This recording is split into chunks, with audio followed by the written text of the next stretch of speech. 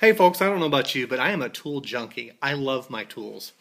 One of my favorite tools is this Black & Decker flashlight. Now this thing you can put in a room and it will brighten the entire room. I absolutely love it. Now I'm a little bummed out. A couple months ago I lost the charger for this flashlight.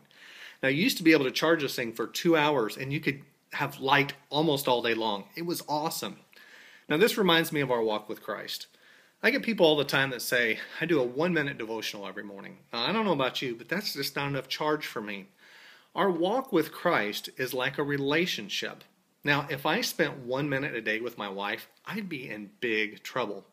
Now, I have four children. Imagine if I spent one minute a day with each child. I'd probably have some pretty dysfunctional children. I also have an acre and a half lot. Now, imagine if I only spent one minute a day taking care of my lot.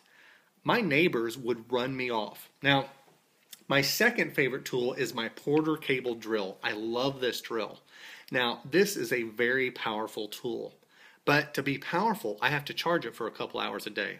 Now, I'm not saying you have to spend two hours a day in prayer or even an hour a day in prayer, but if you want to be a powerful tool for Christ, get plugged in. Take time, quiet your heart, and listen and get charged up. Thanks so much for listening. Have a great day.